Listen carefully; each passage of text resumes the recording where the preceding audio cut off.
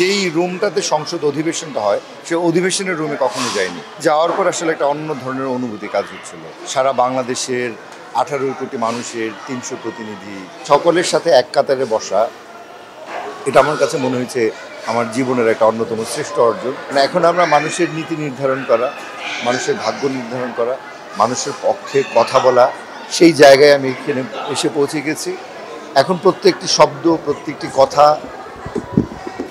অনেক ইম্পর্টেন্ট বেশ কিছু সিনেমা আমার এবছর আসবে, দামপাড়া আসবে, মানিকের লাল কাঁকড়া আসবে, পুরো বছর জুড়ে দর্শকদের সাথে এনে থাকব ইনশাল্লাহ সংসদ ভবনে যখন গেলাম, এর আগে আমি সংসদ ভবনে গেছি নাগ ফেরদুসির সাথে, দু একটা অনুষ্ঠানে গেছিলাম। কিন্তু যেই রুমটাতে সংসদ অধিবেশনটা হয়, সে অধিবেশনের রুমে কখনো যায়নি বাট ওখানে যাওয়ার পর আসলে একটা অন্য ধরনের অনুভূতি কাজ হচ্ছিল, যে সারা বাংলাদেশের আঠারো কোটি মানুষের তিনশো প্রতিনিধি মাননীয় প্রধানমন্ত্রী আছে, স্পিকার আছে, এতগুলি সাংসদ একসাথে বসে আছে, এত বিজ্ঞ বিজ্ঞ সব মন্ত্রীরা এখানে আছেন। তাদের সকলের সাথে এক কাতারে বসা, এটা আমার কাছে মনে হয়েছে আমার জীবনের একটা অন্যতম শ্রেষ্ঠ অর্জন। সেখানে গিয়ে তখন মনে হয়েছিল যে আসলে এতদিন যা যা করে এসেছি, এই যে মানুষের কাছে ভোট চাওয়া, মানুষের কাছে প্রত্যাশার কথা শোনানো, আশার কথা শোনানো, সেগুলি সব কিছুর ঊর্ধ্বে এখন আমরা। কারণ এখন আমরা মানুষের নীতি নির্ধারণ করা মানুষের ভাগ্য নির্ধারণ করা মানুষের পক্ষে কথা বলা সেই জায়গায় আমি এখানে এসে পৌঁছে গেছি। এখন প্রত্যেকটি শব্দ প্রত্যেকটি কথা অনেক ইম্পর্টেন্ট সঠিক প্যাড আর সঠিক তথ্য দিয়ে এসু সামলে নিব এক হয়ে মোনালিসা স্যানিটারি ন্যাপকিন। তো এই জায়গা থেকে মনে হয়েছিল আর কি যে একটা মানে বিশাল বড় টেনশন বিশাল বড় একটা স্বপ্নের জায়গার দিকে যাচ্ছি আস্তে আস্তে এগিয়ে। এই ব্যাপারগুলি কাজ করছিল কিন্তু আহারে জীবন মুক্তি পাবে সেটা নিয়ে যদি ছোট করে বলেন। আমরা আসলে খুব সহজে অনেক কিছু ভুলে যাই। যে করোনার সময় আমরা কি করেছি কেমন একটা পরিবেশ পরিস্থিতির মধ্য দিয়ে আমরা গেছি আমরা কিন্তু ভুলে গেছি সেটা। করোনা আমাদেরকে অনেক কিছু শিখিয়েছিল।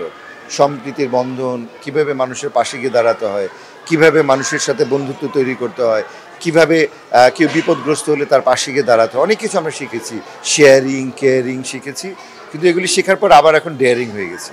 আবার আস্তে আস্তে মনে হচ্ছে আমরা আগের জায়গায় ফিরে গেছি। আবার আমরা মানে হিংসা, টিংসা এসব শুরু করে দিয়েছি।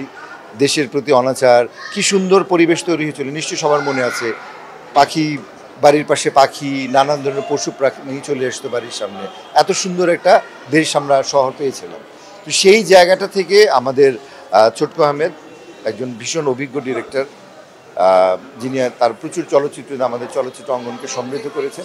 ছোটকু ভাইয়ের পরিচালনায় এই আহারে জীবন, যেখানে করোনাকালীন একটা ঘটনাকে, আমি একটা ইটালি ফেরত মানুষ, আমরা সেরকম একটা জায়গাতে আবার মানুষকে স্মৃতিতে নিয়ে যাবে এবং আমার মনে হয় যেন এখান থেকে আমরা আবার একটু ফ্ল্যাশব্যাকে যাব, আমরা আরও অনেক কিছু শিখতে পারব এবং সেই সাথে যে করোনার ভয়াবহতাটা যে আমাদেরকে মানে কি করে একত্রিত করে দিয়েছিল এবং একসাথে হলে যে মানুষ সব কিছু জয় করতে পারে সেই ব্যাপারগুলো সিনেমাটাতে আছে। আসলে বেশ কিছু সিনেমা আমার এবছর আসবে। দামপাড়া আসবে মানিকের লাল কাঁকড়া আসবে। দামপাড়া হচ্ছে বাংলাদেশের পুলিশের একমাত্র বীরত্বের সিনেমা আমার কাছে মনে হয়েছে।